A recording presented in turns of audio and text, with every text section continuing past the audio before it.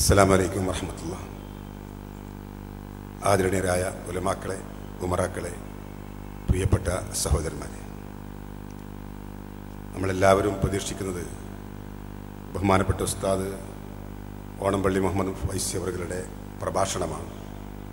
അതുകൊണ്ട് അതിന് തടസ്സമായി നിൽക്കാൻ എന്തായിരുന്നാലും ഞാൻ ഉദ്ദേശിക്കുന്നില്ല.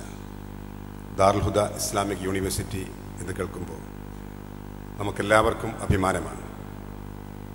ഈ സ്ഥാപനത്തിൽ നിന്ന് ബിരുദമെടുത്ത് പുറത്തിറങ്ങിയ ഉദവി പണ്ഡിതന്മാർ നമ്മുടെ രാജ്യത്തിനകത്തും പുറത്തും പരിശുദ്ധ ദീനിന്റെ പ്രചാരകന്മാരും പ്രബോധകന്മാരുമായി സേവനമനുഷ്ഠിക്കുകയാണ്. ഇവിടെ പ്രിയപ്പെട്ട ഷംസുദ്ദീൻ സാഹിബ് സൂചിപ്പിച്ചതുപോലെ മതവിദ്യാഭ്യാസവും ഭൗതിക വിദ്യാഭ്യാസവും സമന്വയിപ്പിച്ചുകൊണ്ട് ഒരു ഇസ്ലാമിക പണ്ഡിതന് കാലാനുസൃതമായി എങ്ങനെ ഇസ്ലാമിന്റെ പ്രചാരണവും പ്രബോധന പ്രവർത്തനവും വളരെ ഭംഗിയായി നിർവഹിക്കാൻ കഴിയും എന്ന് ഉദവി പണ്ഡിതന്മാർ തെളിയിച്ചുകൊണ്ടിരിക്കുന്നു.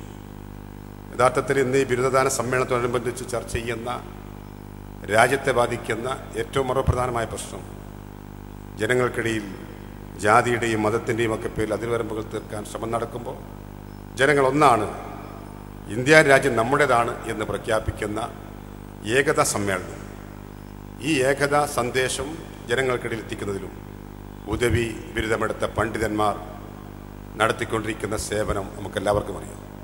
പക്ഷിത ഇസ്ലാമിന്റെ പ്രചാരണ പ്രവർത്തനത്തോടൊപ്പം രാജ്യത്തിന്റെ ഐക്യവും അഖണ്ഡതയും നിലനിർത്തുന്നതിലും ജനങ്ങൾക്കിടയിൽ സാഹോദര്യവും സൗഹൃദവും വളർത്തിയെടുക്കുന്നതിലും ഉദവികൾ വഹിച്ചുകൊണ്ടിരിക്കുന്ന പങ്ക് വളരെ വലുതാണ്. അതുകൊണ്ട് ഇന്നിവിടെ ഈ ബിരുദദാന സമ്മേളനത്തോടനുബന്ധിച്ച് ഈ സ്ഥാപനത്തിൽ നിന്ന് പുറത്തിറങ്ങുന്ന മറ്റു യുവ പണ്ഡിതന്മാരും മുൻഗാമികളെപ്പോലെ ഈ സമൂഹത്തിനും നാടിനും വേണ്ടി സേവനമർപ്പിക്കാൻ എന്തുകൊണ്ടും പ്രാഗൽഭ്യമുള്ളവരാണ് എന്ന കാര്യത്തിൽ ഒരു സംശയമില്ല.